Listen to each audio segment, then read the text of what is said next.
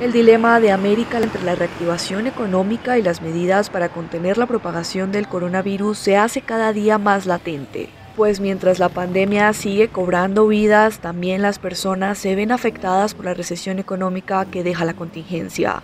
Por su parte, Estados Unidos, con casi 37 millones de personas solicitando subsidio por desempleo, está abierto a la posibilidad de una aprobación de estímulos económicos para combatir la crisis del COVID-19. Sin embargo, su presidente Donald Trump es enfático en su rechazo hacia las propuestas de ayudar a inmigrantes indocumentados.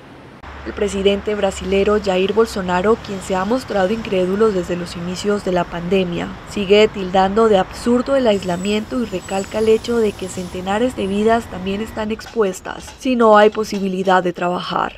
En Perú se reabrieron algunos mercados, pero a través de una evaluación ordenada por el presidente Martín Vizcarra, se confirmó que en 36 de los mercados de Lima que fueron evaluados se pudo constatar que todos tienen en sus puestos portadores de coronavirus.